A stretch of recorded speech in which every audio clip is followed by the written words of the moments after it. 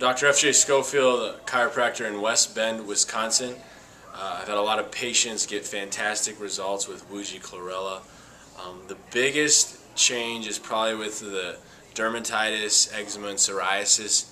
Patients with a lot of skin conditions have gotten amazing results, taking usually between three and five uh, a meal.